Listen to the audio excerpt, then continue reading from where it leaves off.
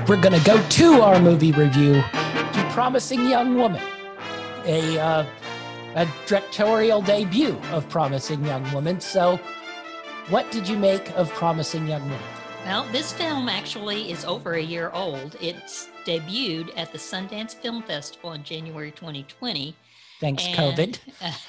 no, no, it was before COVID. Yes, I know, Oh, and then afterwards it didn't get released. well, right, yes, we were uh, going to get yeah, it right. released, and we were not Right, going to have to pay for And- early access. So it's rent it. available to rent on demand. That's the way you're going to have to watch it.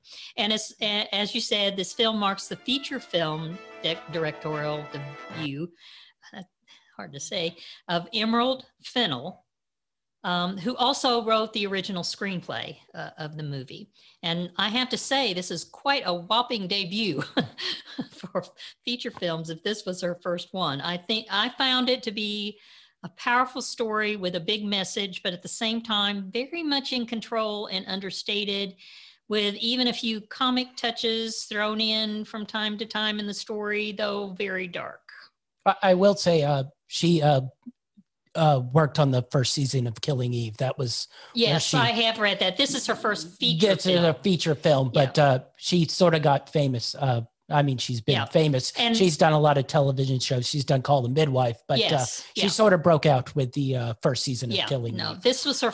she- This is not her. Like this isn't the first thing she's ever done. No, And I think Mhm. Killing Eve says a lot about this movie. yes, I mean, you I know, think it's. I, Uh, I- think it'll inform what you think about this or, or, or whether you would like this movie. Um, it has received wide acclaim both for her film and for the lead actress, uh, Carey Mulligan, who is quite brilliant as the main character, Cassie. Um, in one sentence, um, this story is about a woman who seeks to avenge her best friend, Nina, a victim of rape. Um, Nina was the victim of rape, and she's seeking to avenge uh, what happened to her. And um, it is a sad but often true story of how the system works in the favor of the male perpetrators and against the female victim. And that is really at the core, you know, that is what the movie is about. Um, Cassie seeks her revenge by going out to this is you know start the movie starts out this way. She seeks her revenge by going out to nightclubs and pretending to get just obliteratedly drunk, um, you know, fall down drunk, um, and inevitably some some young man who thinks he's really a good guy gallantly offers uh, to get her safely home and then proceeds to take advantage of a highly intoxicated woman who is too drunk to give consent. Um, once she has this guy where she wants him, she lets him know that she isn't drunk. And at that point, she pretty much terrorizes him. Um, however, um, I, I want to make a point about this movie because I didn't really know. I was kind of scared going into it, watching it. I wasn't sure what I was getting into. But I want to point out that it is not physical and violence she engages, uh, engages in. And this isn't like a bloody movie, violent movie at all. It's all about the psychology of the revenge and making these men that she she then makes victims. See how just what crummy individuals that they aren't good nice guys. Uh, she helps them realize that. Um, whether it sticks or not i don't know. But i read one quote about the movie that said um, pretty uh, promising young woman um, is to the potential race, rapist what fatal attraction was to adulterers. And that is it gets you know you get in their head. Um, I, so I don't want people to avoid this movie because you think it might be violent or terror filled. It's not at all. It is dark, uh, but it, it's not bloody. Um, so as the story unfolds, we have Cassie. She meets this doctor in a coffee shop where she works, um, and this doctor went to med school with her. By the way, she dropped out of med school um, because she was traumatized. Uh, at least that's what we eventually find out. They begin a relationship, and actually a relationship that appears healthy. Although you're always asking yourself in the back of your mind, is this one of the guys she's setting up and we don't know it, you know? no uh, doctors are uh, good people. So Yeah. Good. All right. We won't go there. but it brings back um, it, meeting this guy and kind of reliving their med school days brings back her desire to make all the people pay that contributed to Nina's demise. And by the way, we don't really know what happened to Nina. uh, as the story goes on, um, you, it, it's never explicitly ex- explained. Um, but as it goes on, you do so you do assume that Nina committed suicide because she couldn't live with what happened to her as a medical student, and then nobody, you know, really cared uh, what happened other than Cassie. Um, so one by one, Cassie goes after each of the parties involved, um, and you know does something to just t- pretty much um, lead them to terror and fear, uh, including the female dean of the medical college, um, one of their best friends who was part of their clique, a lawyer who defended the accused and got him off, and eventually to the whole group of men who were involved the evening of the crime. Um, and the only one in that group who actually um, was somewhat sorrowful and forget, you know, just had paid the price, let's put it that way, was the lawyer.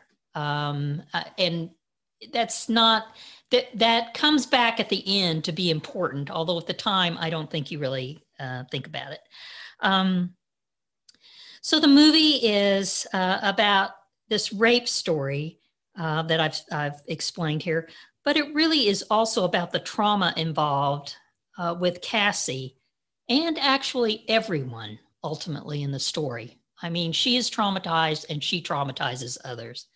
Um, and the thing is, as the story moves on, um, despite the fact that you know inside you, you want these people to be punished and you're kind of on Cassie's side, you start finding yourself just kind of running out of patience with her and sort of thinking, God, just please move on, you know, drop this, forget it. And in fact, it starts making you not like the movie. you don't know all the facts uh, necessarily, and um, you're just tired of her uh, unflinchingly going after uh, these people. Um, and and you start feeling like you know you're really not going to change what happened and you're really not going to change what happens in the future. And basically um, and you just need to move on. And basically in one scene where she's meeting with nina's mother um, nina's mother basically tells her that you know stop this move on. Um, so anyway uh, just to i'm going to just sum up uh, quickly and then you can uh, make your comments um, the movie is wrapped up. One, you start feeling this way about the movie, but then it wraps up in a rather twisted and intriguing way. And um, this ending, which I'm not going to tell, um, I'm not going to do a spoiler this time. Uh, some people like it from what I've read, um, you know, of reviews and reactions to the movie. Some people like this ending, some hate this ending and think it ruins the whole thing. For me, it made the movie and um, that's about all I'm I'm going to uh, give away. Uh, I I and you know now. Well, I'll I'll you. say the ending is what makes it, and uh, that's probably why I I grade it so high. I now I have always been pro the Shakespearean tragedy, and essentially this is a Shakespearean tragedy in its yeah. all its glory uh, really. Nobody comes out the winner, do no, that's you know this is very Macbeth or Hamlet or you know mm-hmm. I could list about fifty others, but um, I, I think that's what makes this movie. Um, I loved Carey Mulligan in it. I thought she was very impressive in her role. Uh, now, um, a little bit with the mental terrorization. My only problem was I, I feel like one of those dudes who would have taken her home probably was a complete psychopath and would have killed her and probably would have snapped her neck in a half yeah. second. Uh, Carey is not a large woman. She's not that imposing. In, in fact, yeah. she looks like she weighs about 90 pounds in this film. Well, so, I, and I also thought, I mean, this is one of the, a little bit of the weakness of the, of the script too, I would say everything kind of fell into place always for her. Yes. You know, the guys were always doing mm. exactly what she thought. The reaction of the people she went after was exactly what she thought it would be. And no one ever well that's what let her down in uh, that way. You know? I think at some point, you know, you yeah. probably it wasn't the, realistic. Yes, you, what you're saying. You probably get the rapey dude who doesn't really want to be a rapey dude, but is. But Yeah. at some point, you come across, you know, Jeffrey Dahmer, who ends up slicing you into bits and keeping you in his freezer. You know, that it just seemed like a dangerous game to be playing, uh, especially as you're going on this mission solo by yourself. And actually, throughout the film, I kept thinking something was going to happen to her. I kept thinking that exact thing that one of these guys is going to go, you know, nuts and kill her, you know. And um, anyway, that that's always kind of there to uh, uh, that these guys aren't so stupid. Yes. Uh, I wanted to say I thought a couple other performances were pretty good. Uh, Jennifer Coolidge, who uh, the plays the mom in it, and you- yes, you, oh, can't even yeah. recognize her because Yeah. uh, anyone who knows Jennifer Coolidge, uh, she's a very um, physical, let's say, uh, sort of funny woman. She, uh, her most famous thing is in Legally Blonde, where she plays the nail stylist. But uh, I mean, she yeah. does a lot of physical type comedy, and she just plays. She's always good. Though. Yes, she's uh, a she- great. no, she's a actress. great actress. Yeah. But this is the first time I'd seen her really, really play a Yeah, serious. Uh, there's no physical comedy in this role. It's she's a sort of depressed mother because her daughter no sort of about it. is going nuts. yeah, Uh, she's also in a lot of Christopher Guest movies. Uh, Yeah, you know, right. she's just that type of actress uh, on the screen. I'm sure she's done, you know, theater productions and stuff where she plays more serious characters. But I just thought she played the mom uh, dynamitely, and it's Yeah. really a uh, a different sort of style that uh, she adapts in this than what probably anybody has ever uh, seen her in. Uh, I also thought Laverne Cox uh, Yeah. as a coffee shop owner was she was good too, and she was good. the one that uh, kind of lent the comic yes. touch to it. That's you why I think it needed a little bit of that uh, Yeah. style of humor in it. Well, to- it brought some normality to it, you know, and that Vern Cox can bring normality. It brought normality to it because here she was owning this cute little coffee shop, and Cassie worked in it, and everything seemed very normal. yes, and uh, so I thought Laverne Cox was, and also uh, he didn't have much of a role, but uh, Max Greenfield, uh, your boy's uh, best, the doctor's best friend, Oh yes. who plays the Yeah. complete slimeball, Yeah. who's the one who Yeah. recorded the uh, said rape scene and Yes. stuff. All right. Uh, it, it was a probably a two scene five minute performance, but, but he did pretty he well. came didn't in and was Yeah. uh, he, he scored about 15 points in about Yeah. one minute of uh, scene time there. Well, I- you know, one, one of the weaknesses is a bit of the script and just the assumption that everything would fall in place like it did in the script. Um, but the acting was not one of the weaknesses. it the was- actors I were thought quite everybody good. was everybody was good. really good. Yeah. I, I think my favorite scene in the movie, you know, you use in quotes. If you have a favorite scene. but I did think uh, when she uh, seduces Adine's daughter into the car yeah. to take her to the, uh, you know, music video shoot for her Yeah. favorite band and then goes and uh, hammers the dean with this. And the that dean all of a with sudden the dean was starts great. to freak out. Connie Britton played Yes, the dean. Connie Britton. She was good yes, too. she was excellent too. I mean, you just saw in her face where you- she went from just your standard Yes. admin blah blah Yes. blah to suddenly being totally terrorized by the fact that knowing- her daughter was going to knowing the raped. actual truth Yeah. uh Yeah. you know she has to go from college Yes. administrator who shoves Yes. everything under the rug because dr fancy pants is going to make the university a lot of money or donate to the university Yeah. a lot of money and then it, when it becomes uh, more real for thin terror and i thought that was probably That the was best one of the best scenes in the movie. You're the right. best sequences Yes. of the film. I, I Yeah. really, I, I thought this film was done well. Uh, I, I also liked it because I thought it was more in the stylistic range of a '90s film, sort of an independent drama that uh, really never gets made uh, now. Um, so I, I enjoyed that. I just wish it had gone a little more hardcore, like those '90s dramas. Um, you know, it, it definitely had a little feel of. Uh, uh, 13 and kids, uh, Catherine Hardwicke uh, sort of style film. Uh, it, it did feel a little Gr- Gre- Greta Gerwig too. uh, Yeah. Yeah. uh, templates into the late Mhm. 2000s. I, but uh, I just thought it should go. If it's going to push this edge of rape and how the males get by with it, I, I thought it should have gone full bore into pushing that edge. It felt a little uh, 2020 where we talk about it, but we don't actually go, real dark into it. I just felt this film should be a you watch it once and you pretty much never want to see it again, much like Fatal Attraction.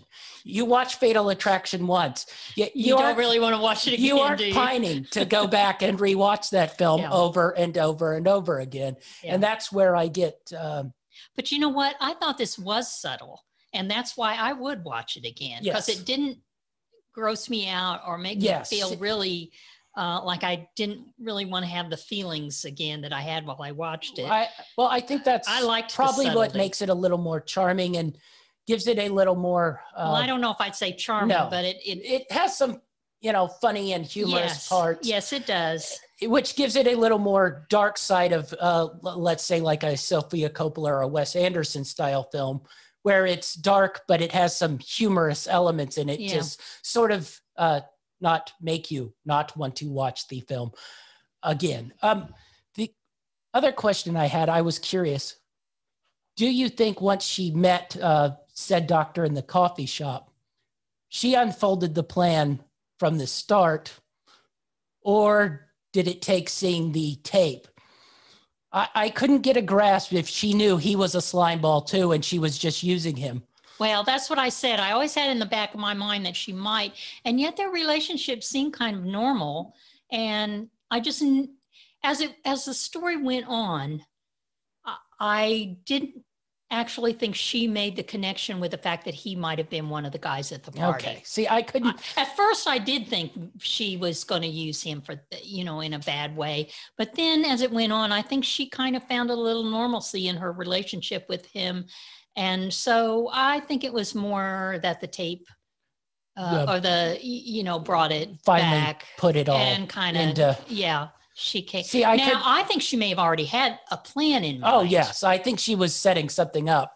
I mean, uh, I think for years she yes. had been thinking about it. Uh, well, I think you got that from the uh, fake Facebook uh, profile yes, she yeah, created, yeah. Friender or whatever yeah. it was. Um, but I just that probably I couldn't quite figure out because um, I, we didn't say, but she's a highly intelligent woman uh, who was like top of her class in med school before. As she was her friend. As Nina. was her friend. They were probably the two best students and, in the class.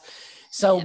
that's what made me think maybe she was, you know, doing a chess move, thinking, you know, 10 moves ahead. And as soon as this guy walked in the coffee shop, maybe she started unfolding the plan, but I, I couldn't really tell because I couldn't tell either because they had the whole middle scene where it seemed yeah. like he was almost a halfway. And okay. they were genuinely falling in yes. love and all of that. Other know. than he's a doctor, so you got to watch out.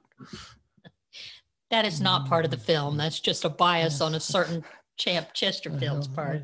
Anyway, uh, I did think that it was well directed and well acted. Uh, there were some weaknesses in the script, I believe, but you know, this has been a, a this particular topic has been uh, a little more focused on in in uh, recent years, the last two or three years, and I think up to now, it really, you know, th- uh, this rape and sexual assault, particularly among college students, is not really been seen as a serious societal problem. It's just, you know, oh, they're drinking. Oh, you know, the girls bring it on themselves, blah, blah, blah. But, um, it, you know, this makes you think a little bit about that. And I think it's a different kind of film and, and, uh, and worth watching. Um, uh, so you don't take it so lightly. And um, I asked myself at the end, um, and I mentioned this to you, the title promising young woman. At the end by the end i thought to myself who was the promising young woman? Was it cassie or was it nina? And maybe it was both. But as you watch the film you do ask yourself is this a is this a film about cassie? Was she the promising young woman whose life fell apart when she lost her friend? Or was it nina whose life was destroyed uh, one night because she was drunk and was raped? Yeah all right. So, uh, do you think this is a Academy Award style film? Uh, we'll go film overall, and then we'll go performances. Okay. Um, can I go ahead and give my rating? Yes, go ahead and give your. I'll rating. tell you what. As I watched the movie, sometimes I thought, "Oh, I'm giving this like a four. and then as I watched the movie, sometimes I was thinking, "Oh, heck, I'm giving this a nine or a 10. Well, I so think I, the ending uh, brings it full circle. Bring, and the ending made it for me, and I gave it an eight. Um, I, you know, I've pointed out there's some weaknesses to it, but I do think it's one of. I'll tell you, I thought it was one of the better movies I've watched in the past year. Um, I think it will be an Academy Award, you know, particularly if they have 10 films like yes. they always do. Now, five, I don't know. But, um, and I think Mulligan is, she is outstanding, definitely deserves a nomination. And in fact, I've read that she's one of the front yes. runners along with Frances McDormand for Nomadland. Um, so, uh, and of course, Viola Davis, too, yes. who we talked about. So I think it's going to be a, a tough year on the, you know, actress front for a great competition. Um, so yeah, I would have to say yes. I don't know about direction. I mean, is Emerald Fennell, um, is she going to be Best Director nominee? I don't know. It was pretty well directed when yes, you think of how I, it was. I, actually think the direction was probably better than the overall film. Script, yeah. Uh-huh. Um, I, I would definitely think Carey Mulligan deserves. Um, yeah. She carried this film and did a wonderful job in it. Um, film wise, I, I really enjoyed the film. Now, if we're going to 10 deep uh, so far this year, yeah, yeah. it probably cracks it. Mm-hmm. But do I think it's like, would I even put it as a favorite as a Academy Award film? Film overall, uh, I I don't know if I could go that far, but right. I, I, do think the ending full circles this uh, perfectly and uh, really nails it. So I could definitely see it being nominated. I do think uh, Carey Mulligan definitely deserves a nomination. It yeah. it I think is one of the best performances I have seen. So what did you rate it? I rated it a seven. Seven. Overall. I said eight. Yeah. Okay. So I yeah. I did like it. It that and Tenet so far this year. Yeah, see, been, Tenet I did not like, but yes. it'll you know that's just a difference in movie taste. I yes. Think. Um, I I like to throw if we're done with Promising Young Woman. We're done with Promising Young Woman. I just like to throw out that one of the movies we're not going to review that I I, I just want to mention briefly is a movie called Pieces of of a woman. I think that's the full title. And um, I watched it. It's on Netflix as well. I watched it uh, recently too. And I just want to throw out um, it's a hard movie to watch. It certainly isn't a perfect movie. I don't know that it would be a Best Picture nominee. Um, but it it's a, and it is a story about a couple who loses a, uh, their baby. It's born stillborn, and they have a trial against the midwife who um, brought uh, who was there uh, with them. And um, uh, the thing is it's really not about that. It's about the woman character and what she goes through um, as, and uh, her interactions with people how it is actually pieces of a woman is a great title. But the reason i want to mention it is i did think it was a very good movie. And uh, virginia kirby i hope i'm saying her name right yes stars in it. And she is i if she needs to get an academy award nomination for sure. She was so so good in this film and portrayed the fe- feelings of this woman. I mean it was just I, I just was stunned by how good she was in the film. And I also think an old timer, Ellen Burstyn, plays her mother. And I thought she was quite good too. So I just want to well, if you're looking for, for an uplifting story over the weekend, uh. it, no, it's very dark and depressing, but it is well, it's well done, and I think an interesting film. All right, so if, if it might come back around if it gets some Oscar nominations, but uh, I am not in for that uplifting movie yeah, over the weekend. So I, I've crossed it off for right now. I don't know if men would like that. I, that's uh, a stereotype, mm-hmm. but it probably We is. will be back uh, next week uh, for Denzel Washington's new movie. Now the I'm blanking. Little things. The little things. We will be back for that one next week. Rami so, Malek. Yeah, Rami Malek, Jared Jared Leto. I mean, that's Denzel a, Washington. Three yeah. Academy Award winners there. Uh, I don't know if it will be any good, but it has stars and it has Denzel. And it has action, so we're watching it. So that will be our next movie on the slate. Be sure to follow us all on greenlightnetwork.org, Greenlight Network on Facebook, and Greenlight Network on YouTube. That's our show, and we're out.